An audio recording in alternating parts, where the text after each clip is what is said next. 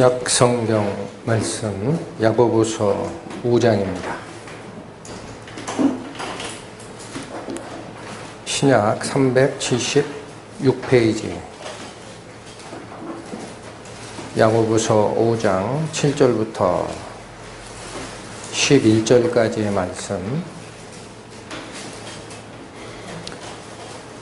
그러므로 형제들아 주의 강림하시기까지 길이 참으라. 보라 농부가 땅에서 나는 귀한 열매를 바라고 길이 참아 이른 비와 늦은 비를 기다리나니 너희도 길이 참고 마음을 굳게 하라. 주의 강림이 가까우니라. 형제들아 서로 원망하지 말라. 그리하여야 심판을 면하리라 보라 심판자가 문 밖에 서 계시니라. 형제들아 주의 이름으로 말한 선지자들로 고난과 오래 참음의 본을 삼으라. 보라 인내하는 자를 우리가 복되다 하나니 너희가 욥의 인내를 들었고 주께서 주신 결말을 보았거니와 주는 가장 자비하시고 극률이 여기는 자신이라.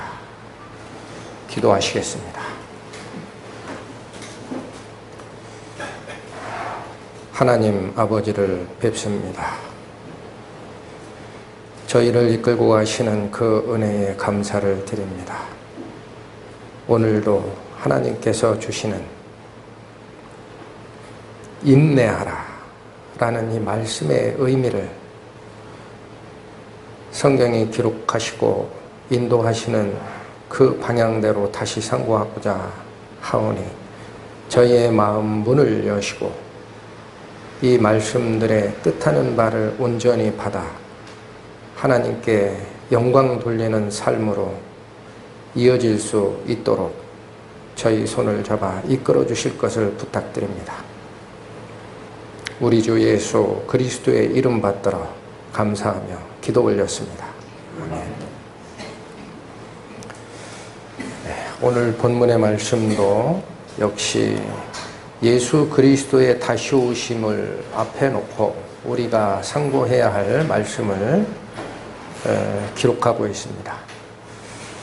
7절의 말씀을 보시면 그러므로 형제들아 주의 강림하시기까지 길이 참으라 어떻게 참아야 됩니까? 길게. 네, 이 주의 강림 때까지 3차원적 공간과 시간의 제한 아래에서 살고 있는 우리 성도들은 그 시간의 길이가 굉장히 길 수 있습니다. 길이 참으라 라는 말씀을 주시면서 보라. 농부가 땅에서 나는 귀한 열매를 바라고 길이 참아 이른 비와 늦은 비를 기다린다라는 말씀을 줬어요.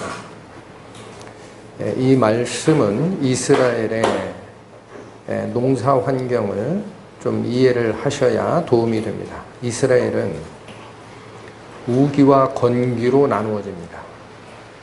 우기는 10월달 예, 중순부터 시작이 돼서 겨울 내내 비가 오게 돼 있습니다. 그러면 사막지대에 그 딱딱했던 땅들이 부드러워지고 어, 싹을 틔우기에 합당한 시기가 됩니다. 그 비가 그 다음에 4월 초까지 내린다고 얘기를 합니다. 그게 비가 내리는 우기라고 말씀들을 하시고 어, 4월 말부터 다시 건기가 시작돼서 추수기까지는 많은 비가 없다. 그렇게 말씀을 주십니다. 그러니까 이스라엘의 농업 환경을 이해를 했을 때 이른 비는 우리와 다릅니다. 가을에 내리는 비입니다. 가을에. 우기가 시작될 때 처음 오는 비가 이른 비고 늦은 비라는 것은 4월 초순경에 우기가 끝날 때쯤 내리는 비입니다. 농부가 이스라엘에서 이렇게 이른 비와 늦은 비를 기다리는 것은 에, 이른 비가 시작이 되면 파종을 한다고 해요. 씨를 뿌립니다. 그런데 그 씨가 겨울을 지나야 될 거 아니겠습니까? 그러니까 우리도 비슷한 작물이 에, 제가 알기로 보리가 그래요. 보리. 에, 보리가 파종이 돼서 겨울을 지납니다. 아, 그래서 땅이 얼고 녹고 하면서 어, 성해라고 하나요? 그게 땅 밑에서 들고 일어나면 보리의 그 뿌리가 땅에서 들리면 겨울을 나다가 죽어요. 그래서 우리가 뭘 해줍니까? 아, 보리밭 밟기를 해줍니다. 아, 그렇듯이 농부는 겨울을 지나는 그 싹과 씨가 안전하게 보존되기를 길이 참아 겨울을 견디는 거예요. 그리고 나서 봄에 왔을 때 늦은 비가 풍족히 내리면 이제 열매를 맺기에 충족한 시, 어, 크기로 식물들이 자라고 보리 같은 작물은 그때 첫 추수도 합니다. 그리고 나서 다시 건기로 들어가기 전에 에, 이스라엘에서는 큰 비는 안 온다고 해요. 그 다음에는 하늘에서 내리는 이슬이 그 작물들이 생장 생장보다는 생장이 끝난 상태에서 열매를 맺고 생명을 유지하기에 필요한 물기를 공급을 하고 한 여름의 그 따가운 빛에 의해서 포도 같은 것은 가을의 수확을 거둔다. 그렇게 말씀들을 하십니다. 자, 그러니까 이게 그러니까 농사 짓는 농부를 위한 말씀을 주신 것은 아니죠. 주의 강림을 바라보고 길이 참으라라는 말씀 끝에 보라 농부가 땅에서 나는 귀한 열매를 바랄 때에도 길이 참아서 이른 비와 늦은 비를 기다리듯이 너희도 그렇게 하라 그런 말씀을 주신 겁니다. 그렇다면 영적인 교훈의 차원에서 이른 비와 늦은 비는 무엇을 말씀하시는 걸까요? 우리의 영을 싹을 틔우는데 무엇이 필요했습니까? 하나님의 말씀과 성령의 역사하심이 필요했습니다. 그 다음 우리의 신앙생활이 자라고 어, 끝에 가서 추수기에 선한 열매가 가득하는 그 단계까지 이끌고 가시는 것도 바로 말씀과 성령의 인도하심입니다. 그래서 이 이른 비와 늦은 비는 예, 신앙생활의 여정에서는 우리를 이끌고 가시는 하나님의 말씀입니다. 신명기를 잠깐 찾겠습니다. 신명기 32장.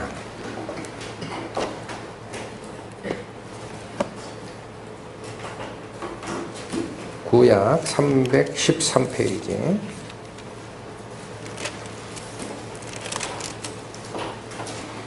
신명기 32장 2절 말씀. 나의 교훈은 내리는 비요. 나의 말은 맺히는 이슬이요. 연한 불 위에 가는 비요. 채수 위에 단비로다. 늦가을에 파종을 해서 겨울에 그 한기를 다 이기고 예, 그 싹이 자라게끔 하는 그 비도 하나님의 말씀이다라고 돼 있고 또 생장이 끝났지만은 열매를 맺히는 과정까지 필요한 최소한의 물기를 공급하는 것도 계곡에 맺히는 이슬이 역할이다라는 말씀을 드렸어요. 근데 여기 신명기 32장 2절 말씀을 보시면 나의 교훈은 내리는 비고 나의 말은 맺히는 이슬이라 이렇게 얘기를 하셨습니다. 그러니까 야고보서 본문으로 다시 오시면 주의 강림을 기다리면서 길이 참는 그 농부의 마음과 같이 우리가 때를 따라 공급해 주시는 하나님의 말씀과 성령의 역사하심을 다시 기다리라라는 뜻입니다. 이것이 없이는 생명의 탄생도 없을 뿐만 아니라 성령의 선한 열매를 맺히는 성화의 과정도 존재할 수 없는 거예요. 자, 그런데 본문으로 오시면 7절 말씀에 이어서 8절에 너희도 길이 참고 마음을 굳게 하라. 농부가 이른 비와 늦은 비를 기다리는 마음과 같이 길이 참고 마음을 단단히 해라. 흔들리지 말라. 그 말씀을 주시면서 이어지는 말씀이 주의 강림이 가까우니라. 이런 말씀을 주셨습니다. 8절 자체는 그 단어들이 얘기하는 의미만을 쫓아가 보면은 조금 맞지 않는 문맥이 앞뒤가 연결된 것처럼 보입니다. 왜 그렇습니까? 주의 강림이 오래 후에 올 것이니까 너희가 길이 참으라라는 말씀을 앞에 주셨습니다. 그런데 이어지는 말씀은 주의 강림이 먼 훗날에 일어날 것이다 가깝다. 단어적 뜻은 정반대의 지금 단어들을 사용하십니다. 성경에서. 그이 말은 무슨 말이냐면, 요 근래에 지금 종말론적 신앙관, 당장 내일이라도 예수님께서 오신다면 나는 후회 없는 삶을 살고 있느냐라는 그 긴박성을 마음에 가지고 하나님을 쫓아가는 것이 신앙에 왜 필요한지가 여러 차례 말씀으로 증거가 되고 있습니다.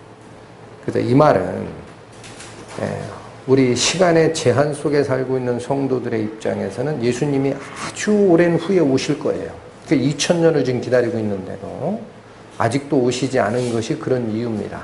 그러나 그 생각 하나만을 품고 있다 보면 마음이 흐트러집니다. 세상에 쏠리게 돼 있고 예수님은 당장은 안 오실 모양이야.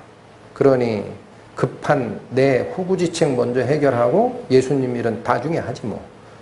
이게 바로 마음이 흔들리는 거 아니겠습니까? 마음을 굳게 하라라는 말씀 바로 뒤에 어떤 말씀을 다시 주신 겁니까? 주의 강림은 가깝다라고 생각하라. 가깝다. 주의 강림이 가깝다. 자, 그런데 에, 이어지는 구절 말씀은 지금 보시면 7절, 8절은 예수님의 다시 오심을 바라고 기다리고 오래 참으라. 농부가 이른 비와 늦은 비를 기다리듯이 말씀과 성령의 인도함을 따라 오래 참으라라는 말씀을 주시다가 생뚱맞은 말씀 같이 보이는 말씀이 구절에 들어와 있습니다. 뭐라고 얘기하시나요? 형제들아, 서로 원망하지 말라. 그리하여야 심판을 면하리라. 보라, 심판자가 문 밖에 서 계시니라. 이상하지 않습니까? 왜 주의 강림을 기다리고 오래 참고 말씀의 인도를 기다리고 너의 마음을 흔들리지 않게 굳게 잡으라. 그런 말씀 뒤에 갑자기 형제를 원망하는 것이 심판의 대상이니 바로 문 뒤에 예수님 서 계신 것처럼 너희는 그 자세를 잊지 말라라는 말씀을 주셨을까?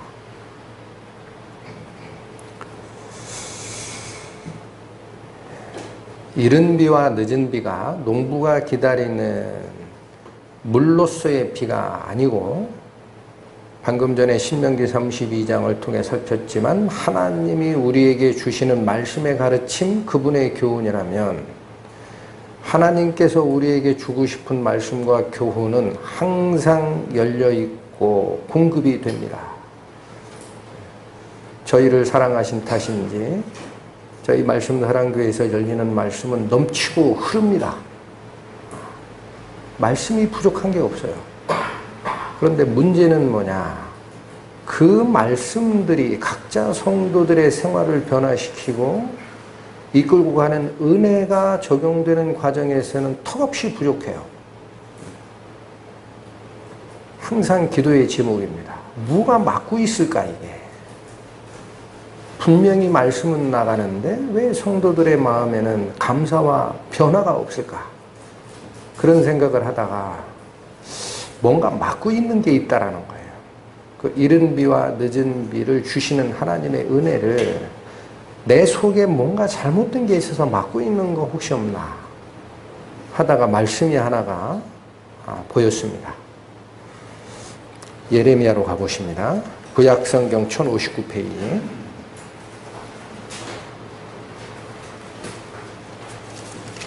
예레미야서 구약성경 1059페이지 5장으로 갑니다.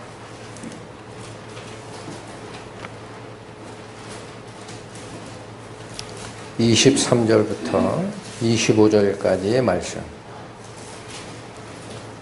살핍니다. 그러나 너희 백성은 배반하며 해역하는 마음이 있어서 이미 배반하고 갔으며 또 너희 마음으로 우리에게 이른 비와 늦은 비를 때를 따라 주시며 우리를 위하여 추수기한을 정하시는 우리 하나님 여호와를 경외하자 말하지도 아니하니 24절에 이른 비와 늦은 비를 주시고 추수기한을 정하시는 하나님을 거명하셨습니다.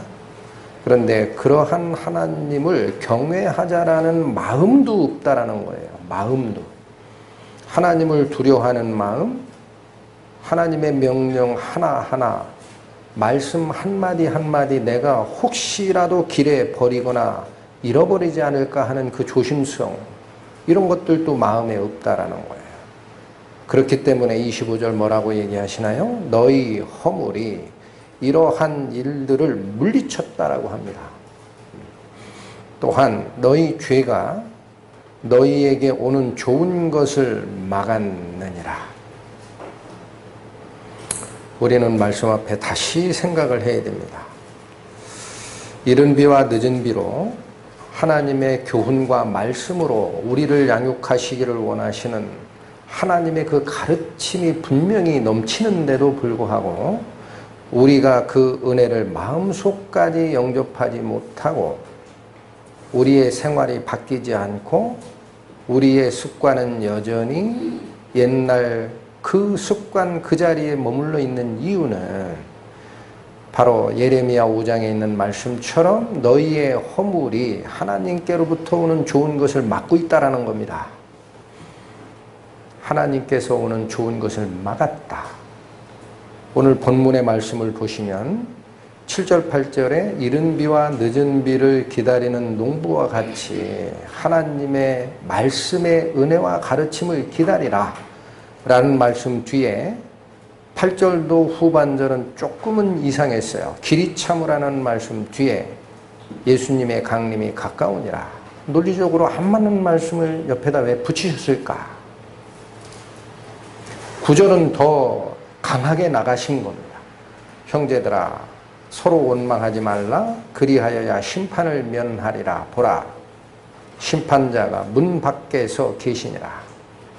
이른 비와 늦은 비를 기다리는 그 마음에 구절이 왜 생뚱맞게 여기에 돌아 있을까 생각을 하다 예, 저는 저 자신도 돌아보고 뭔가 막고 있다라는 거예요. 하나님의 은혜가 우리 각 사람의 생활과 마음을 변화시키는 과정에 아직 제거되지 아니한 것이 있다라는 거예요. 우리 마음 속에. 예, 하나님이 부족해서 주시지 않는 거 없어요, 여기.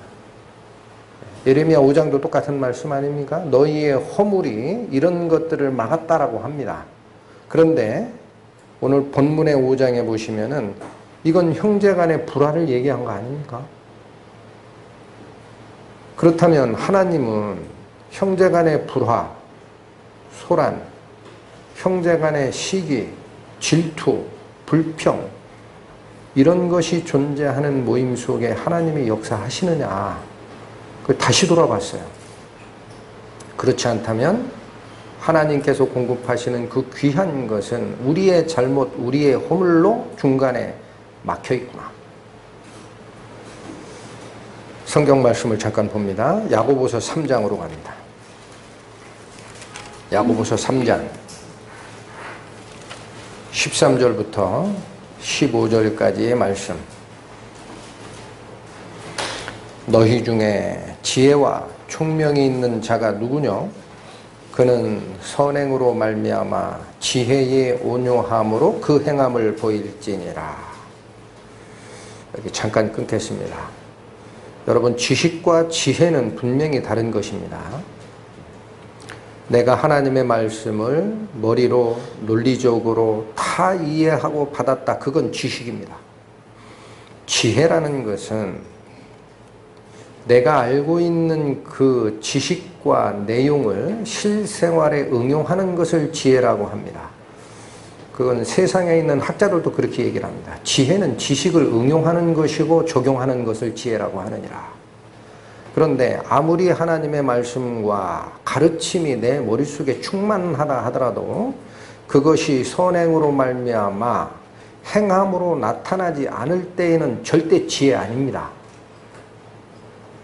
다시 보십니다. 13절 너희 중에 지혜와 충명이 있는 자가 누구냐? 그는 선행으로 말미암아 지혜의 온유함으로 무엇을 보이라? 그 행함을 보이라. 그게 지혜입니다. 행함이 없는 것은 머릿속에서 돌고 있는 지식일 뿐입니다. 이어지는 말씀 14절 그러나 너희 마음속에 독한 시기와 다툼이 있으면 자랑하지 말라 진리를 거스려 거짓하지 말라 마음속에 다툼과 시기가 있는 상태에서 내 머릿속에 하나님의 말씀이 충만히 거한다라고 얘기하지 말라는 겁니다. 그거 다 가짜다. 거짓말이다. 하나님은 그걸 너희에게 준 적이 없다. 15절 이러한 지혜는 위로부터 내려온 것이 아니요 세상적이요 정욕적이요 마귀적이라. 머릿속에 하나님 말씀이 충만하면 무슨 의미가 있을까요?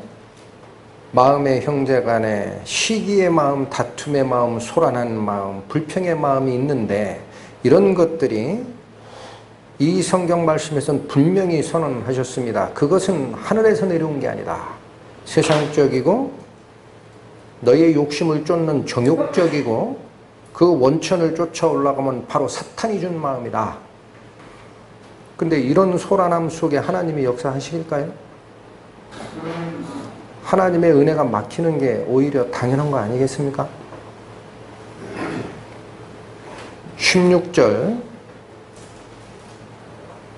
우리 마음에 다시 한번 봐야 됩니다. 시기와 다툼이 있는 곳에는 요란과 모든 악한 일이 있기 때문에 안 된다라는 거예요. 하나님은 역사하지 않습니다. 그 속에 절대로. 하나님이 어떻게 악함과 같이 일하실 수 있습니까? 그러면 우리는 어찌 해야 합니까? 17절, 18절은 바로 하나님의 지혜를 다시 설명합니다. 17절 오직 위로부터 난 지혜는 첫째 성결하고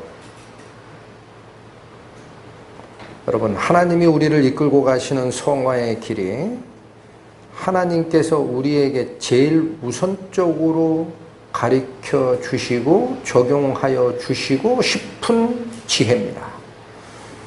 이걸 저희가 계속 배우고 있습니다. 그런데 두 번째는 뭐냐? 이것은 성도 간의 문제예요.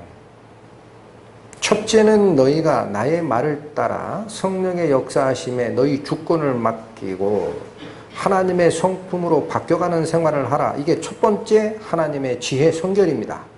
두 번째는 뭐예요? 화평하고 관용하고 양순하고 극률과 선한 열매가 가득하게 되는 것이 두 번째의 하나님의 지혜입니다. 그게 지혜가 있는 자는 무엇으로? 온유함으로 그 행함을 보일지라라는 형제간의 우애와 하나님의 역사할 수 있는 그 성령의 충만한 선한 환경이 만들어지는 짐이 당연하다라는 말씀입니다. 당연하다. 그러니 갑자기 주님의 강림이 가깝다. 너희는 길이 참으라. 바로 문 밖에 주께서 서 계신 것으로 생각하고 살라라는 말씀 뒤에 무슨 말씀을 생뚱맞은 말씀처럼 보이지만 주셨습니까? 형제들아 서로 원망하지 마라. 원망하는 것을 이제는 우리 이 말씀을 받는 성도들은 분명히 그 색깔을 구분하셔야 됩니다. 이것은 심판받을 일입니다. 그렇게 되어 있습니다. 9절 형제들아 서로 원망하지 말라. 그리하여야 심판을 면하리라. 어, 저 형제, 저 자매가 원망받을 일을 했는데요? 그 생각 버리셔야 됩니다. 하지 말라. 안 하는 겁니다. 그것이 소란과 내 마음을 따라 일어나는 것이었고 그것이 내가 바로 재판장이 되려고 했던 바로 사탄이 불어넣은 마음 세상적이요 정욕적이요 마귀적이라 이게 분명치 않으면 내 마음속에 일어나는 그런 아주 사소한 문제를 접했을 때 대충 넘어가는 버릇을 가지는 거예요. 대충 넘어가려고 합니다. 대충. 그런 문제가 발생했을 때. 그러나 여기 성경이 분명히 제시하는 것은 그건 하나님께로 온 것이 아니고 하나님은 거기에 역사하지 않는다 그랬죠? 그러면 우리가 어떤 마음을 가져야 됩니까? 아침 식사 준비하고 나서 식사하기 전에 급해가지고 화장실에서 볼일을 봤어요. 그리고 나서 물 안 내리고 다시 식탁으로 가는 분 아무도 없죠? 그 냄새 다 온 사방에 퍼질 거 아니겠습니까? 어떻게 하고 갑니까? 물 내리고 가잖아요. 이거는 식사 자리에 같이 냄새를 피울 수도 없고 볼 수도 없는 거 아니겠어요? 하나님과 반대되는 거 아니겠습니까? 그럼 치워버릴 생각을 해야 됩니다. 첫 번째, 대충 넘어가니까 그 버릇을 못 버리는 거예요. 첫 번째, 이건 하나님께 속한 것이 아니다. 이걸 분명히 아셔야 돼요. 이건 절대 하나님께 속한 게 아니다. 성경이 말했다. 타협하지 마라. 내 마음아. 두 번째 어떻게 해야 돼요? 그걸 나에게서 떠나가게 하긴 하는 과정에는 의사결정자, 주권자인 내 마음의 결정이 있어야 됩니다. 앞으로 이것은 나의 마음 속에서 올라오는 말이든 혹은 다른 형제, 다른 자매가 한 말로 인하여 그게 슬며시 올라왔든 간에 형제를 원망하거나 시기하거나 편론하는 그런 마음이 들 때는 이거는 버릴 것이다 라는 것이 분명히 결정을 해야 됩니다. 그거랑 같이 동거하려고 하지 마세요. 동거하려고 하지 마세요. 같이 할 수 없습니다. 괜찮다고 생각하는 순간 화장실에 볼일 보고 나서 그 냄새 피는 그 상태에서 식탁으로 가는 거랑 똑같은 겁니다. 그러나 이게 잘 안 됩니다. 왜 그래요? 우리 안에 정욕이 있기 때문에. 그러니까 어떻게 됩니까? 기도해야 합니다. 하나님, 제 결심은 섰습니다. 저는 이것을 앞으로 제 마음속에서 보기를 원하지 않습니다. 결심이 섰으면 도와주십시오. 그래서 기도하는 거예요. 하나님 도와주십시오. 제 안에 가르쳐 주신 이 성령의 음성이 떠나가지 않게 하여 주십시오. 그게 항상 기도하라. 그런 뜻입니다. 그런 과정이 계속 이어질 때 여러분 마음속에 가장 첫 번째 변화가 어떤 게 감지가 되느냐.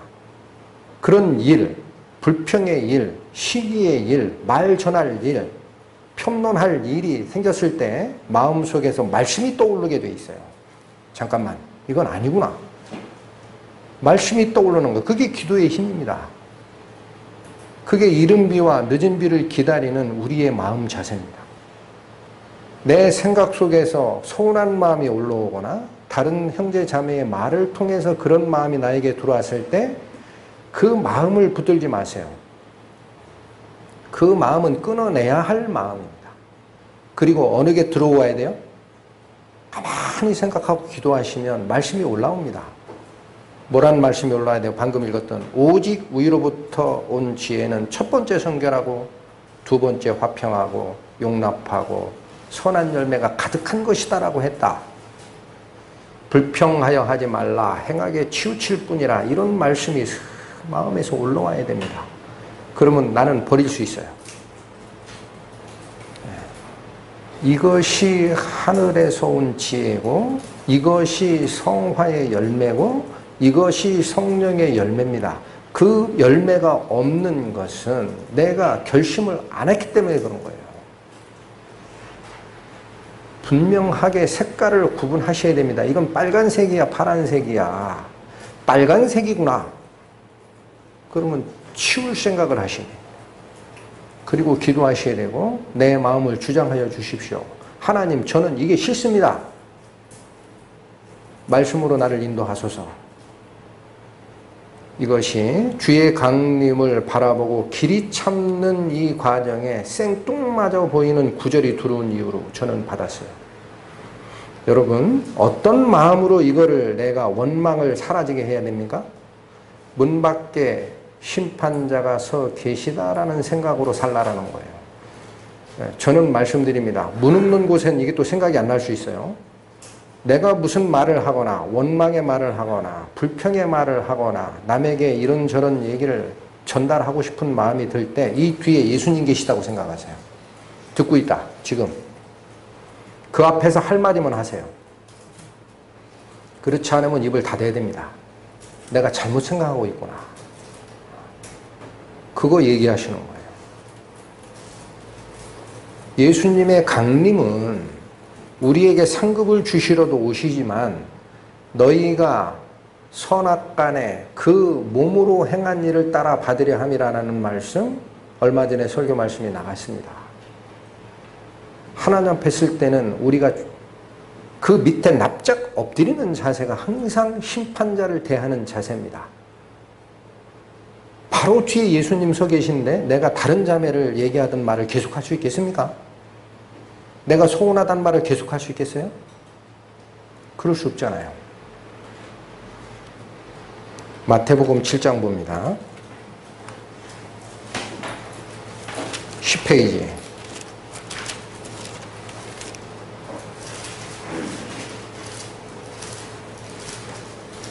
1절부터 5절 말씀. 비판을 받지 아니하려거든 비판하지 말라. 너희의 비판하는 그 비판으로 너희가 비판을 받을 것이요. 너희의 헤아리는 그 헤아림으로 너희가 헤아림을 받을 것이니라. 어찌하여 형제의 눈 속에 있는 티는 보고 내 눈 속에 있는 들보는 깨닫지 못하느냐? 보라, 내 눈 속에 들보가 있는데 어찌하여 형제에게 말하기를 나로 내 눈 속에 있는 티를 빼라 하겠느냐? 외식하는 자여, 먼저 내 눈 속에서 들보를 빼어라. 그 후에야 밝히 보고 형제의 눈 속에서 티를 빼리라.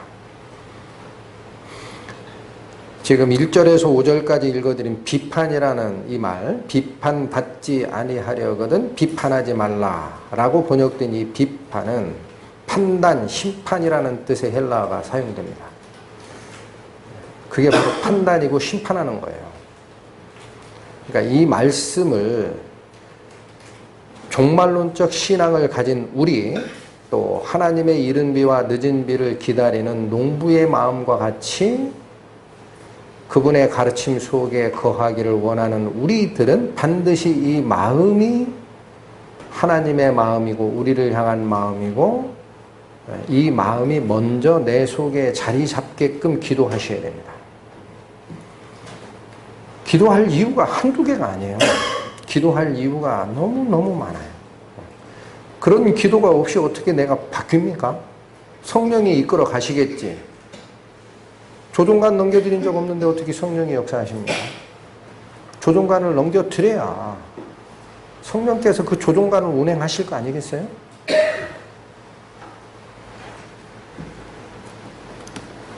자, 오늘 본문으로 다시 가십니다.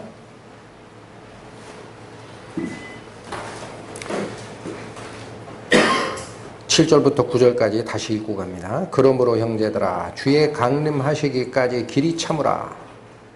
보라 농부가 땅에서 나는 귀한 열매를 바라고 길이 참아. 이른 비와 늦은 비를 기다리나니 너희도 길이 참고 마음을 굳게 하라. 주의 강림이 가까우니라.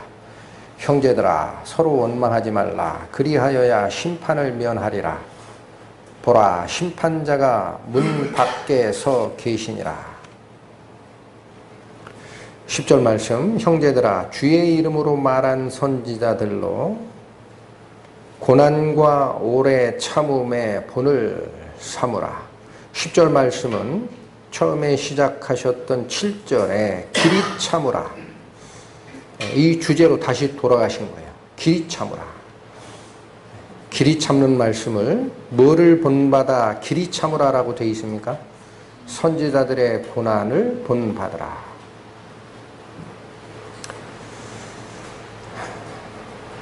제 기억에 에스겔 선지자로 기억이 납니다. 에스겔 선지자, 구약의 선지자들은 하나님께서 주시는 말씀을 증언, 대언을 할 때에 행동으로 대언을 하도록 하나님이 많이 요구를 하셨습니다. 그래서 하나님 말씀이 에스겔 선지자에게 임하기를 너는 북이스라엘의 죄악됨을 네 스스로 몸으로 드러내라 그래요.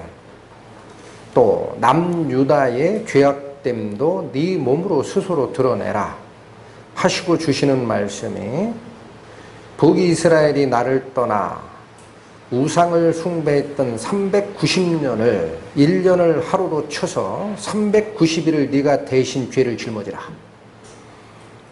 어떻게 하나요? 누워서 지내라. 너는 북이스라엘의 죄를 네가 스스로 지고 왼쪽으로 누워서 390일을 살아라. 또한 그게 끝났느냐? 남유다의 40년간의 나를 떠나간 그 폐역을 네가 다시 지고 오른편으로 누워서 40일을 지내라. 음식은 제한하셨어요. 하루에 각종 잡곡으로 만든 떡을 230g만 먹으라 그래요. 하루 세 끼로 나눴더니 한 끼에 70g 내지 80g만 먹는 겁니다. 물은 하루에 제 기억에 600cc 같아요. 물은 딱 600cc만 먹어라. 한 끼에 200cc. 음식은 어떻게 만들어 먹으라고 합니까? 그 떡을 구워 먹을 때 사람의 분변을 말린 것으로 불을 지펴서 너 음식해 먹어라 그래요. 하나님의 눈에 얼마나 그 이스라엘과 유다의 죄가 더러웠겠습니까? 너희들이 가장 더러워하는 그거 있지? 그걸로 밥해 먹어. 이 선지자가 하나님께 그것만은 피하여 주십시오. 간구를 합니다. 어찌 사람의 분변으로 음식을 데워 먹으라고 하시나이까? 하나님께서 그건 허락해 주시 그러면 소똥으로 대신하기를 너에게 허락하노라. 이것이 선지자들이 우리를 하나님의 말씀으로 인도할 때에 길이 참았던 모습들이고 톱으로 키거나 돌에 맞아 죽거나 저 깊이 파여있는 우물 속에 몇 날 며칠을 처박아 놓거나 하는 그런 고난들이 너희가 본을 삼을 것이다 라는 말씀을 주신 겁니다. 자, 그런데 선지자들보다 성경에 한 성경책이 오로지 이 인내를 기록한 게 하나가 있습니다. 그게 뭘까요? 욥기입니다. 욥기. 이어지는 말씀은 바로 그 말입니다. 보라 인내하는 자를 우리가 복되다 하나니 너희가 욥의 인내를 들었고 주께서 주신 결말을 보았거니와 주는 가장 자비하시고 극률이 여기는 자신이라. 7절부터 10절까지는 오래 참으라라는 말씀으로 우리를 교훈하시고 이끌어 오셨어요. 그런데 여기 11절에 보라 인내하는 자를 우리가 복되다 하나니 이 말씀으로 다시 바꾸셨습니다. 뭐 그 말이 그 말이 아닙니까? 오래 참는 거나 인내하는 거나 우리 말에는 이 인내하라라는 말의 인내의 단어가 우리 말에는 적합한 번역을 받을 만한 단어가 없다고 합니다. 이 헬라어 전공하신 분들이 그래요. 이 인내라는 것은 전혀 다른 거다 그래요. 위쪽에 있는 오래 참으라라는 그런 말씀들이 바로 우리말의 인내랑 같은 거예요. 그건 참는 거예요. 그러나 욥기를 예를 들면서 시작하는 보라 인내하는 자가 복되다라는 이 말씀에 인내라는 단어는 전혀 다른 단어입니다. 헬라어로. 찾아봤어요. 인내라는 단어는 헬라어로 휘포모네라는 단어를 쓰더라고요. 네, 근데 이게 두 단어로 연결된 겁니다. 앞에 휘포라는 것은 어디 아래라는 뜻이에요. 어디 아래. 어디 아래. 그래서 전에 보면 노예를 얘기할 때 어떤 단어를 쓰냐면은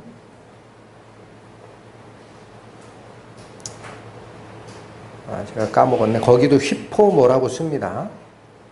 예. 제가 잠깐 잊어먹었어요. 휘포 뭐라고 쓰는데 그게 뭐냐? 노예선에 갑판 밑에서 노젓고 있는 사람들 아시죠? 그 사람들을 지칭하는 용어로 시작된 단어가 그겁니다.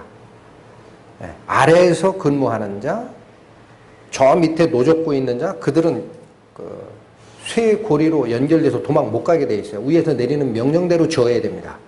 예, 그런 뜻의 의미의 휘포라는 것은 밑에다라는 뜻이에요. 영어로는 언더예요. 언더. 어디 어디 밑에. 모네라는 뜻은 거하다, 살다라는 뜻입니다.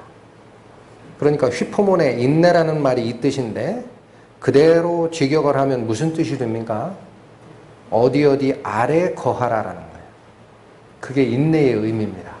어디 아래 거하라, 어디 아래 머물러라. 그 그런 말이 우리 말에 단어는 없는 거예요. 그러니까 인내라는 표현으로 번역을 했으나 원래 헬라어에 나오는 뜻은 참으라라는 뜻과는 다른 거예요. 그런데 이 인내가 성경에 여러 번을 얘기를 합니다. 그런데 우선은 오늘 본문이 인내하는 자가 복되다라는 말씀을 꺼내신 뒤에 너희가 욥의 인내를 들었다라는 말씀을 하시죠. 욥의 인내를 들었다. 그러면 욥의 인내 말을 바꿉니다. 욥이 어느 아래에 머물렀다라는 뜻일까요? 그 수많은 고난을 당하면서 욥은 어디 아래에서 머물렀을까? 이 말이 그 뜻이니까 욥의 인내를 너희가 들었다라는 것은 욥은 그 많은 고난을 받을 때에라도 어디 밑에서 떠나지 않았다라는 거예요.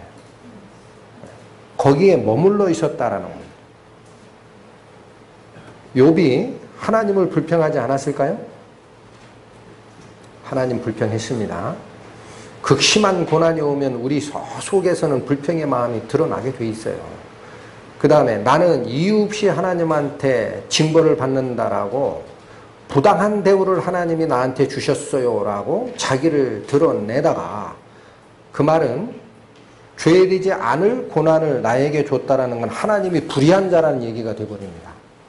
하나님이 불의하고 내가 의롭다라는 것까지도 불평이 간 자예요. 그러니까 이거는 완전히 참은 것이 아닙니다. 그러니까 오래 참는다라는 말과 본문에서 얘기하는 인내라는 말은 다른 거예요. 그런데 여기 분명히 기록하기를 욥은 인내했다라 그래요.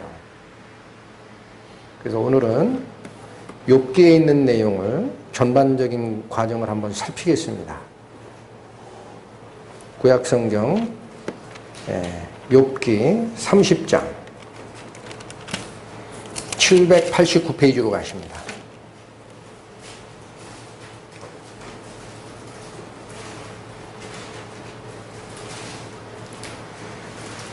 구약성경 욥기 30장 16에서 20절.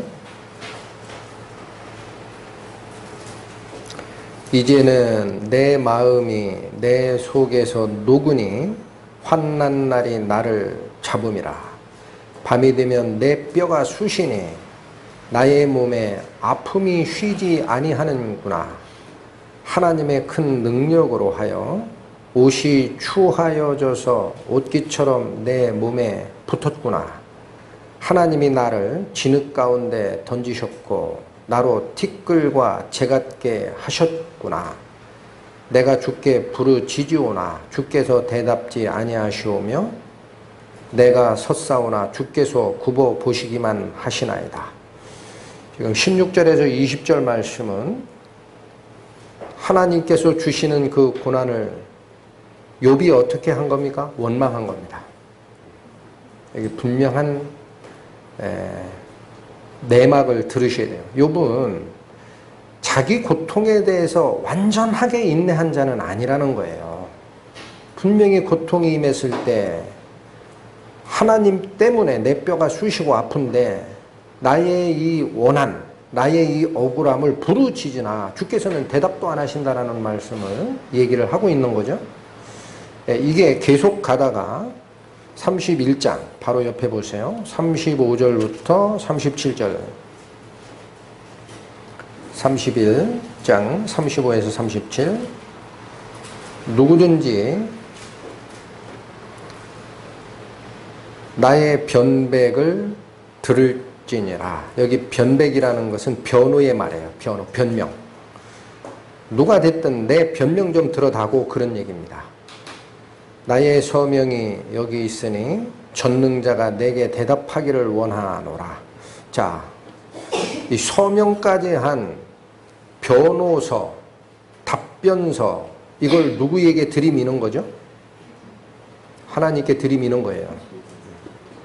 지금 이, 이 표현이 누구든지 나의 변백을 들을지라 나의 서명이 여기 있으니 전능자가 내게 대답하기를 원하노라. 하나님 제 말씀에 답변 좀 해주시면 안 됩니까? 그런 얘기입니다. 그 다음에 내 대적에 기록한 소송장이 내게 있었으면 내가 어깨에 매기도 하고 면류관처럼 머리에 쓰기도 하며 내 걸음의 수요를 그에게 고하고 왕족처럼 그를 가까이 하였으리라. 요분 또 얘기합니다. 나의 대적자 사탄 자기를 송사한 자 에 대해서 내가 소송거리가 많다라는 거예요. 그리고 내 걸음은 그러한 소송장에 변명을 하기에 충분한 걸음걸이로 살았다라는 얘기를 한 겁니다. 이거는 자 이게 지금 무슨 모습이냐면요. 자기는 이런 고난을 당할 만큼 잘못된 일을 한 적은 없다라는 거예요. 그러니까 전능자 하나님께서 답변 좀 해주세요라고 얘기를 하는 거죠. 이 단계는 어느 단계까지 지금 가는 겁니까? 내가 받을 이유가 없는 고난을 받았다라는 거예요. 욥이 얘기하고자 하는 것이 그렇다면 이 고난이 하나님께로부터 온 거죠. 그러면 어떤 얘기가 돼버립니까? 내가 당할 이유가 없는 고난을 받고 있고 하나님께서 내 변호, 내 변명을 들어주세요 라고 얘기하는 것은 받을 이유가 없는 고난을 주시는 하나님은 뭔가 올바른 공의의 하나님이 아니지 않느냐라는 얘기까지 넘어간 겁니다. 하나님을 원망하는 단계에서 내가 의롭다라는 얘기까지 간 거예요, 욥은. 그러니까 이게 어디 길이 참은 겁니까? 그렇지 않습니다. 이게 욥이 거치는 고난의 과정입니다, 과정. 자, 이 단계에 가니까 예, 그 밑에 이어지는 32절에 보면 이제 엘리후라는 욥의 욥을 비난했던 세 친구가 있어요. 욕을 비난했던 세 친구. 이 사람들은 뭐라고 얘기하느냐? 줄곧 얘기하기를 내가 벌받을 죄를 지었기 때문에 지금 고난을 당한다라고만 몰아붙였어요. 욕을. 예. 근데 욕은 그건 아니다라고 또 항변을 하다가 결국은 자기가 의롭고 나에게 합당치 않은 고난을 허락하신 하나님은 불의하신 분 아니냐라는 말까지 간 겁니다. 그러니까 이 말을 들은 후에 또 다른 친구가 있었어요. 그 엘리후라는 자입니다. 이 자는 욥 자신이 하나님보다 자기가 옳다라는 이 말이 나온 순간 분을 바랍니다. 그게 32장 1절입니다. 욥이 스스로 의롭게 여김으로 그 세 사람의 대답이 그쳤는데 람 족속 부스의 사람 바라겔의 아들 엘리후가 노를 발하니 분노가 터진 거예요. 아니 어떻게 하나님보다 자기가 의롭다라고 얘기하는 욥의 답변에 그렇게 지적하던 세 친구가 입을 닫느냐라는 거예요. 말이 안 되는 얘기다. 그가 욥에게 노를 발함은 이유가 있습니다. 욥이 하나님보다 자기가 의롭다고 한 이유 때문에 노를 발한 거예요. 그래서 이 엘리후의 지적사항이 쭉 나온 다음에 하나님께서 직접 등장하십니다. 그게 40장부터일 거예요. 40장에 가시면 하나님은 친히 욥에게 이젠 질문을 합니다. 40장 6절 7절 8절 여호와께서 폭풍 가운데서 요백에 말씀하여 가라사대 너는 대장부처럼 허리를 묶고 내가 네게 묻는 것을 대답할지니라 전능자가 내 말에 대답하기를 원하노라 네가 요구했지? 그런 얘기예요. 자 그럼 내가 질문할게. 이제부터 대답해봐. 뭐라고 물으십니까? 네가 내 심판을 폐하려느냐? 스스로 의롭다 하여 나를 불의하다 하느냐? 드러났습니까? 자기는 받을 이유가 없는 고난을 받고 있기 때문에 그걸 허락하신 하나님이 불의하다라는 이 생각이 욥의 마지막 항변의 핵심이었던 겁니다. 그러니까 하나님이 그 핵심을 뚫으셨어요. 너는 심판받을 필요가 없다라고 주장하면서 반대로 그러면 내가 불의하다라고 주장한 거 아니냐. 이해하셨겠습니까? 예, 하나님이 이걸 질문을 하셨고 그 이후에 하나님의 직권적 권능에 대한 얘기가 굉장히 많이 나옵니다. 다른 얘기 안 하십니다. 하나님은. 네가 벌받을 만한 죄 져서 그런 얘기 안 하세요. 그거 대신에 하나님의 직권적 능력과 그의 세상을 이끌고 가시는 섭리의 과정만을 설명을 하십니다. 그 뒤에 욥이 어떻게 하나요? 그 말씀을 다 듣고 난 다음에 욥이 회개가 42장부터 나옵니다. 42장 1절에서 6절까지 욥이 여호와께 대답하여 가로되 주께서는 무소 불능하시오며 무슨 경영이든지 못 이루실 것이 없는 줄 아오니 무슨 선언이 먼저 나갑니까? 하나님은 전능자라는 거예요. 또한 그분의 경영, 하나님께서 세상을 이끌고 가시는 그 경영이라는 것을 한 단어로 하나님의 섭리라고 합니다. 섭리. 하나님은 전능하시고 하나님의 섭리는 모든 것을 이루시기에 충분한 섭리를 가지고 계십니다. 그 고백을 하고 3절에 무지한 말로 이치를 가리우는 자가 누구니까 내가 스스로 깨달을 수 없는 일을 말하였고 스스로 알 수 없고 헤아리기 어려운 일을 말하였나이다. 뭘 고백한 겁니까? 하나님의 전능, 하나님이 세상을 이끌고 가는 그 섭리, 보이지 않는 그 위의 논리, 그분의 최종적인 목적지 이런 건 내가 안 적이 없는데도 하나님께서 이끌고 가는 나를 향한 그 고난의 과정을 내가 판단했다라는 거예요. 내가 알지도 못하는 것을 헤아리려고 했고 그 일을 잘못됐다라고 말한 것이 제가 잘못한 겁니다라는 거예요. 어디 앞에 사람은 완전하게 꼬꾸라집니까? 하나님의 능력과 그분의 공의가 드러날 때 인간은 무릎 꿇게 돼 있어요. 이어집니다. 4절. 내가 말하겠사오니 주여 들으시고 내가 죽게 묻겠사오니 주여 내게 알게 하옵소서. 4절의 말씀은 무슨 말씀입니까? 다시 하나님의 말씀의 교훈 밑으로 들어가겠다라는 고백입니다.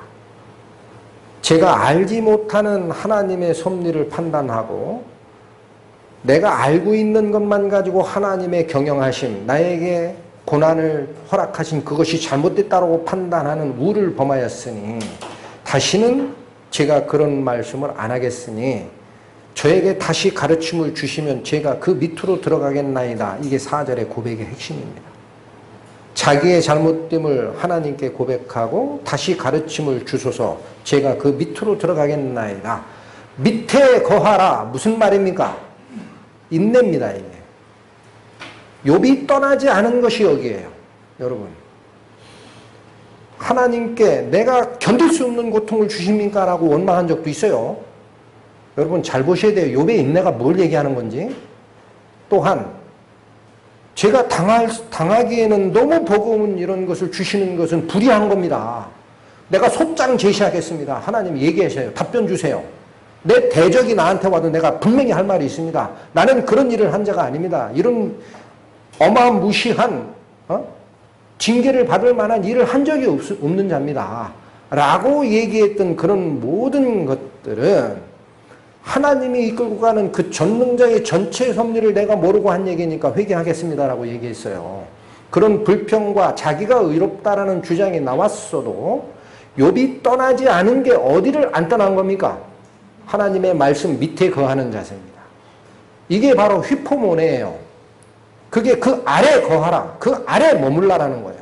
바로 욥이 이거를 떠나지 않은 겁니다. 그러니까 앞에도 나- 이미 나왔듯이 뭐예요? 내가 이 고난을 다 받은 다음에 정금같이 나오겠다. 그렇게 돼 있죠? 내가 내 입술과 마음으로 하나님의 가르침을 떠난 적이 없다라는 말씀이 이미 나왔었어요. 요배 고백 중에. 바로 그 모습으로 다시 돌아간 겁니다. 이것이 욥이 인내한 거예요. 여러분 어디 밑에 거하라라는 말은 항상 하나님을 떠나지 말라라는 거예요. 자, 그리고 계속 나옵니다. 5절. 내가 죽게 대하여 귀로 듣기만 하였었더니 이제는 눈으로 주를 배움나이다. 하나님을 정 눈으로 보고 있는데 내가 얼마나 영화롭습니까? 그런 얘기죠. 6절 그러므로 내가 스스로 한하고 이거는 잘못을 깨닫고라는 뜻이에요. 스스로 한탄하고 티끌과 제 가운데서 회개하나이다. 욥이 한 것이 무엇입니까? 자기가 알지 못하는 자기의 좁은 마음으로 하나님의 섭리를 판단하고 결국 잘못하면 하나님의 권능성까지 침해할 뻔했던 내가 당할 수 없는 고난을 허락하신 하나님이 잘못됐다라는 얘기까지 갈 뻔했던 그 잘못 그걸 회개한 모습이에요. 어디로 돌아왔습니까? 하나님의 가르침과 말씀 아래 휘포 거하는 상태 모내로 돌아왔어요. 휘포 모내 인내 속으로 들어간 겁니다. 인내란 말이 바로 이거예요. 요배의 인내를 너희가 들었지. 그 이후에 하나님은 어떤 말씀을 주시나요? 구절 끝에 가면 여호와께서 욥을 기쁘게 받으셨더라. 하나님이 그걸 기뻐 보시는 거예요. 우리 인간은 부족하기 때문에 내 육체적으로 겪는 고통의 크기에 따라 하나님을 원망할 수도 있고 경우에 따라 하나님 너무하십니다. 왜 이 기도 안 들어주십니까? 그런 마음이 나갈 수도 있어요. 그러나 항상 가르침의 끝은 어느 밑으로 내가 들어가야 됩니까? 그분의 말씀 밑에 거하는 상태로 돌아가야 됩니다. 그것이 하나님이 욥을 기쁘게 받으셨던 것처럼 우리 성도들의 회개와 돌아옴을 기쁘게 받으신 것. 그게 바로 휘포모네의 삶입니다. 어느 밑에 거하라. 떠나지 말라. 이후에 욥이 이 하나님 밑에 하나님 말씀 밑에 그분의 가르침 밑으로 들어, 들어온 이 순간 하나님께서 가장 자비하심으로 그에게 허락하신 게 뭡니까? 이제는 보라 그거예요. 이제는 보라. 네가 그렇게 얘기했던 그 육체적인 고난과 육체적인 징계와 같았던 그 모습 내가 100% 환원해 주겠다. 해서 욥이 고난을 받기 전에 가지고 있던 7천 마리의 양, 천 마리의 소, 낙타도 천 마리, 당나귀 500마리, 그거 딱 두 배를 주십니다. 그 뒤에 나옵니다. 그 다음에 새 부인을 주세요. 이 부인은 하나님의 섭리를 이해하지 못하니까 내 하나님을 욕하고 죽으라 그러고 남편을 비난했어요. 떠난 것 같아요. 새 부인을 주시고 가장 예쁘게 인정되는 미스코리아감 딸내미를 또 주세요. 그리고 140년을 살게 합니다. 그게 하나님이 가장 자비하심으로 그에게 베푸신 응답입니다. 그러니 세상 사람들에게 뭐를 다시 세워주신 거예요? 욥이 너희보다 잘못해서 벌을 받은 게 아니다라는 것을 입증하신 거예요. 하나님이 드러내시는 거예요. 그래서 벌 받은 게 아니다. 겉으로 드러나는 것만 가지고 판단하는 인간들아, 그게 아니다. 그것이 본문에서 얘기하는 뭐예요? 너희가 욥의 인내를 들었거니와 하나님은 가장 자비하신 분이다라고 얘기하신 그 결말을 본 거예요. 결말. 그렇다면 우리가 왜 욥이 이러한 고난을 받게 됩니까? 그 받을 필요 없는 고난이었어요. 상대적으로는. 다른 사람보다 훨씬 하나님을 섬기고 살았던 욥이 왜 그런 극한 가난에 고난에 들어가 있어 됐던 겁니까? 그게 우리가 눈에 안 보이는 하나님의 섭리 세계에서 일어난 일이기 때문에 그럴 수밖에 없었던 겁니다. 어디 보면 나옵니까? 욥기 1장 가보세요. 욥기 1장.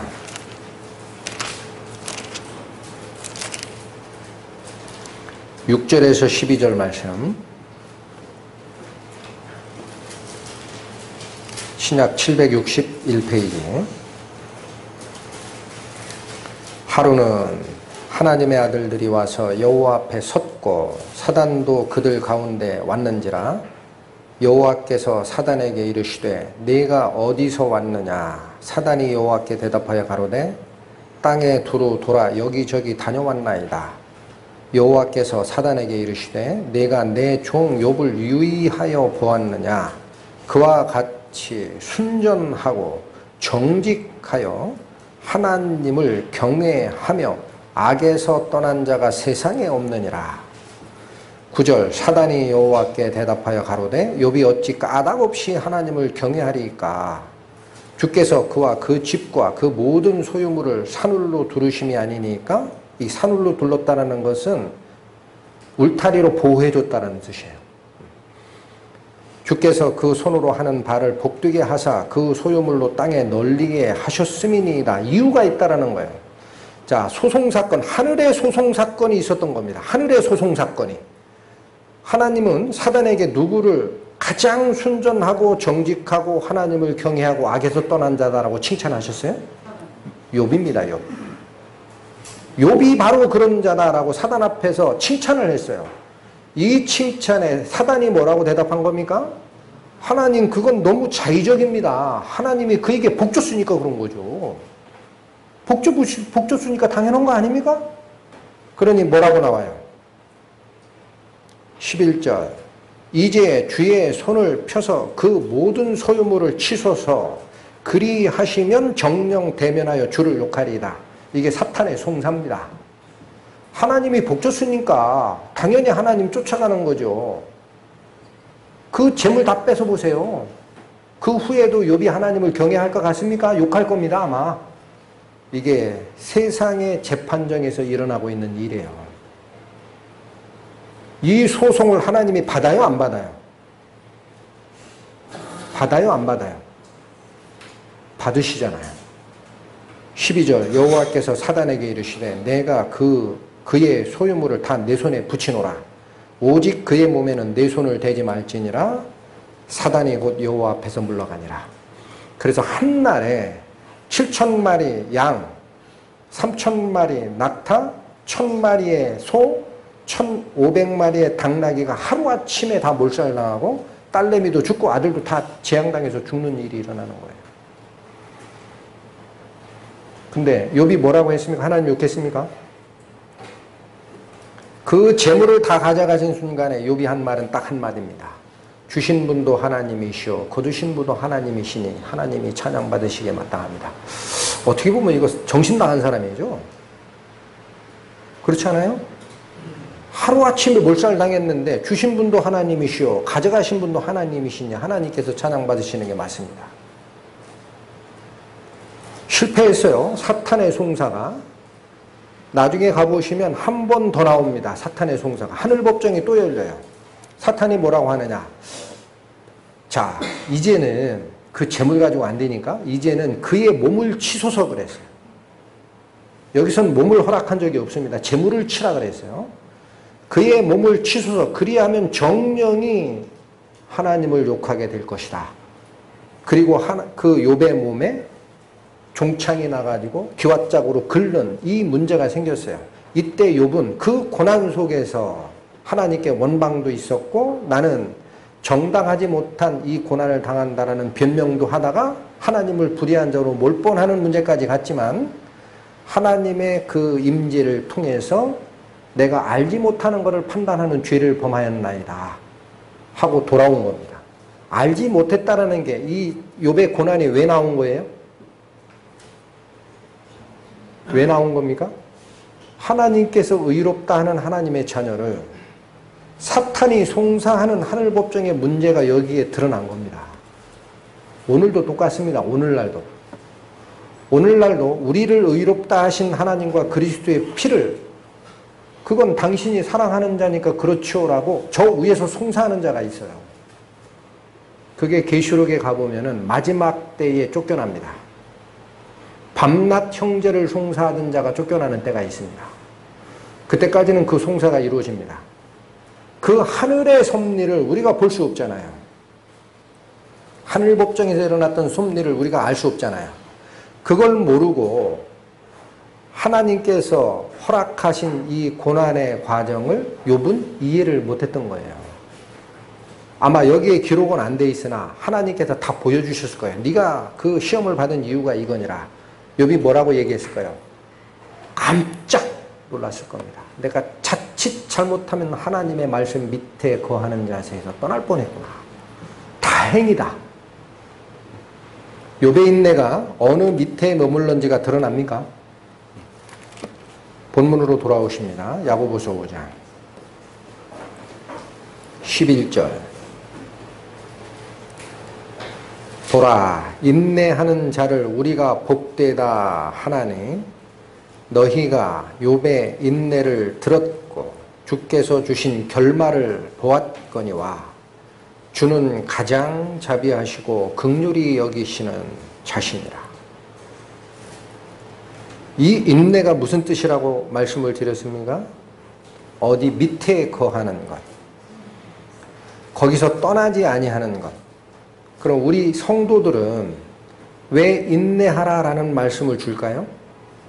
하나님의 가르침, 하나님의 말씀 밑에 거하는 것만이 세상을 나그네 인생길을 살아가는 과정에 하나님의 보호하심으로 보호되는 방법이 있기 때문에 그렇습니다. 그게 인내하라는 뜻의 본질입니다.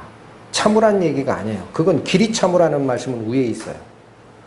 길이 참으라, 길이 참으라, 길이 참으라 하다가 11절에 가서 인내를 얘기하십니다. 내가 스스로 참는 것보다 어느 보호하신 밑에 들어가는 것이 모든 걸 이기는 힘인가요? 하나님의 말씀 밑에 거하는 거예요. 하나님의 말씀 밑에. 그 가르침을 떠나지 아니하는 것, 그걸 하나님이 요구하시는 겁니다. 데살로니가 후서 보시겠습니다. 3장 신약성경 336페이지 5절 말씀 주께서 너희 마음을 인도하여 어디를 인도하시는 거죠? 우리의 마음입니다. 이 하나님의 인도의 음성이 들릴 때 우리는 우리 마음을 드릴 준비를 하고 있어야 됩니다. 다시 있습니다. 주께서 너희 마음을 인도하여 하나님의 사랑과 그리스도의 인내에 들어가게 하시기를 원하노라. 여기 인내가 또 나오죠. 그리스도의 인내가 무엇일까요? 그리스도가 성육신을 하고 이 세상에서 살아가시는 동안 절대 떠나지 않은 게 하나가 있습니다. 그리스도께서 육신을 쓰고 이 세상에 와서 증거하시는 과정에 절대 떠나지 않았던 것이 하나가 있습니다. 어디서 안 떠났습니까? 아버지 하나님이 주신 말씀, 거기서 떠난 적이 없어요. 처음에 사탄에게 광야에서 40일간 금식하고 시험을 받을 때도 어느 말씀으로 나가요? 기록되었으되, 기록되었으되, 기록되었으되, 뭘로 대응하십니까? 첫 시험부터 하나님의 말씀으로 대항을 하시는 게 그리스도십니다. 그 이후에 모든 자기가 하신 말씀과 행동은 역시 하나님께서 주신 말씀을 떠난 적이 없어요. 십자가의 그 고난 앞에서도 아버지여 가능하시면 이 잔을 나에게서 떠나게 하여 주옵소서라는 자기의 기도, 자기의 원함이 앞서 있다가도 반드시 뒤에 뭐로 돌아갑니까? 그러나 내 뜻대로 하지 마옵시고 아버지의 뜻대로 되게 하여 주옵소서. 어디 밑에 거하는 모습인가요? 성자 하나님을 세상에 보내신 성부 하나님의 가르침과 그분의 말씀 밑을 절대 떠나시 않으신 것이 바로 그리스도의 인내입니다. 우리도 똑같은 것을 원합니다. 성경은. 너희도 이 말씀을 떠나지 말고 지키라. 요한복음 12장 가십니다.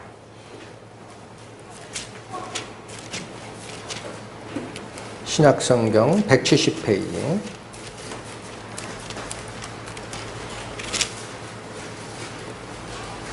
요한복음 12장 49절 50절 말씀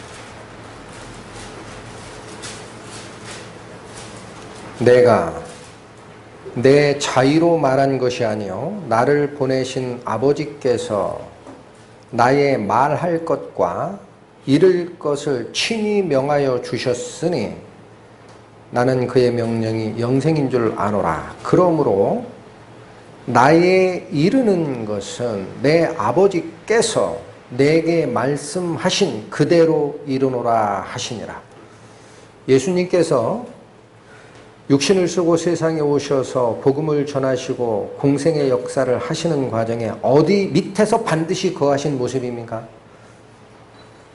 아버지의 말씀 밑에 거하신 거예요. 그걸 떠난 적이 없어요. 그것이 바로 오늘 본문에 나오는 아, 오늘 본문에서 연결된 데살로니가 후서 3장에 나오는 말씀대로 하나님의 사랑과 그리스도의 인내 안으로 들어가기를 너희 마음을 그쪽으로 이끄시기를 내가 기도한다라는 말이에요.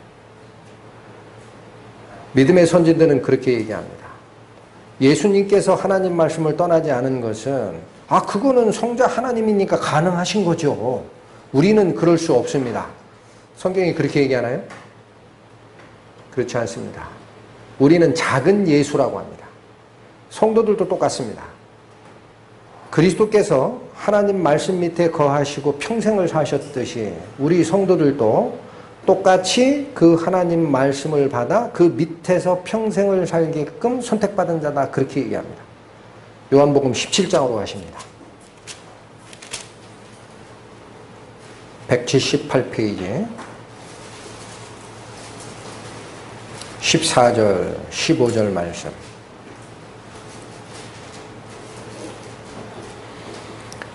예수님 말씀이십니다. 내가 아버지의 말씀을 저희에게 주었사오매 여기 잠깐 끊, 끊겠습니다.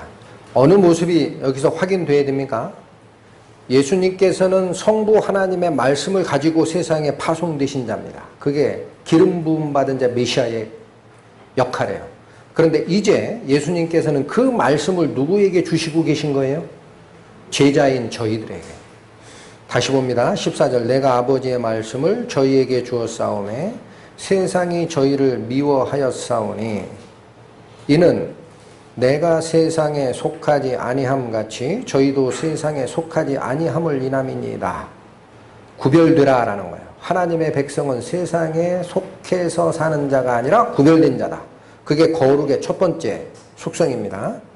15절 내가 비옵는 것은 저희를 세상에서 데려가기 위함이 아니요 오직 악에 빠지지 않게 보존하시기를 원함이니이다. 자, 그리스도께서 성부 하나님의 말씀을 가지고 세상에 오셨듯이 그리스도께서 십자가 사역으로 돌아가신 이후에는 그 말씀을 우리들에게 전달해 주셨는데 기도하는 이유를 뭐라고 얘기합니까? 하나님께 부탁하고 기도하는 이유가 뭐 때문에 그렇다? 15절 저희를 세상에서 데려가기 때문에 그런 게 아니에요. 그렇다면 기도할 이유가 없어요. 곧바로 하늘나라로 가는데 뭘 기도하고 보호해달라고 합니까? 그런데 뭐예요? 오직 악에 빠지지 않게 보존하기 위해 이 기도를 주고 말씀을 준다라는 거예요. 그왜 그래요? 우리는 세상에 파송되어 하나님의 복음을 증거하는 증거인으로서 이 세상을 살다가 하늘나라로 가게 돼 있는 겁니다. 그래서 우리가 이 세상에 살고 있는 인생은 나그네 순례자의 인생이라고 하는 거예요. 그러니 어디에 물들 수 있어요? 세상의 유혹과 죄에 물들 수 있습니다. 그걸 보호하심을 위해 이 기도를 준다라는 거예요. 그럼 뭐가 보호하심입니까? 오직 악에 빠지지 않게 보존하기 위하여 하나님께 이 기도를 드리는 거다. 근데 뭐가 보호하세요? 19절 말씀이 이어집니다. 또 저희를 위하여 내가 나를 거룩하게 하오니 이는 저희도 진리로 거룩함을 얻게 하려고 이 기도를 한다라는 거예요. 그럼 진리가 또 뭡니까?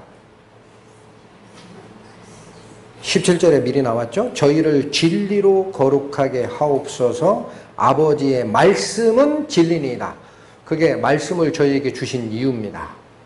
이 세상에 파송하고 저희를 보호하시고 이끌고 가는 능력은 바로 이른 비와 늦은 비를 주시는 말씀으로서의 하나님, 그 말씀 밑에 거하라라는 거예요. 그게 휘폭 모내의 인내입니다. 그 안에 있을 때라야 하나님의 보호하심이 우리께 되고 우리는 말씀에서 떠나지 않고 하나님의 가장 자비로운 결말을 바라보는 하늘의 성과 시온성을 바라보는 삶을 살 수 있는 겁니다. 그게 요배 인내의 핵심이에요. 단순히 참으라는 말씀이 아닙니다. 히브리서 또 보십니다. 10장 36절 신약 364페이지 히브리서 10장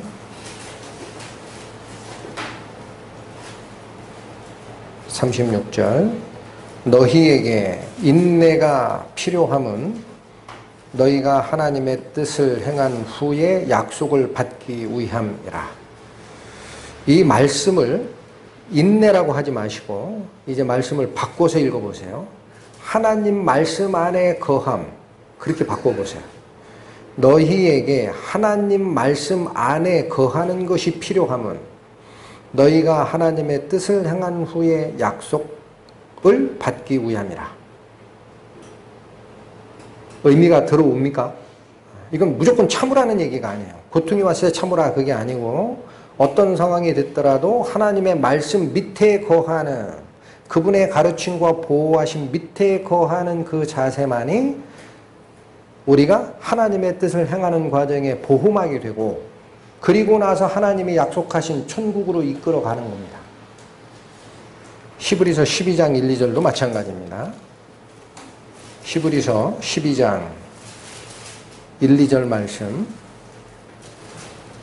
이러므로 우리에게 구름같이 둘러싼 허다한 증인들이 있으니 모든 무거운 것과 얽매이기 쉬운 죄를 벗어버리고 인내로서 우리 앞에 당한 경주를 경주하며 이 인내가 어느 인내입니까? 내가 인격적으로 수양돼서 참는 것 그거 아닙니다.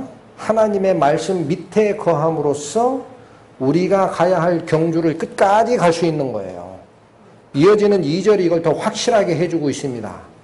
경주를 경주하라라는 말씀에 이어지는 2절 말씀이 뭡니까?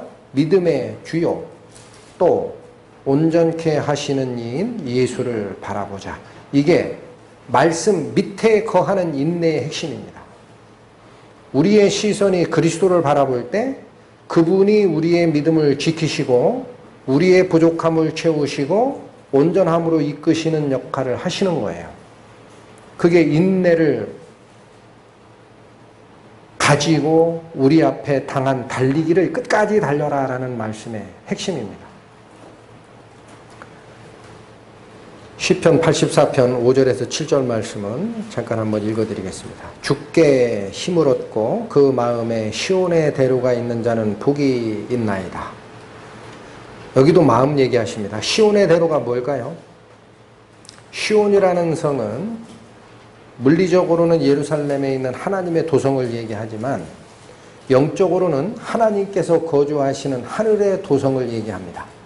그러니까 내 마음에 하나님의 도성, 하늘의 나라, 그분이 약속하신 상속 유업을 바라보는 그런 눈을 가지고 하나님께로부터 힘을 얻고자 하는 자는 복이 있다라는 거예요.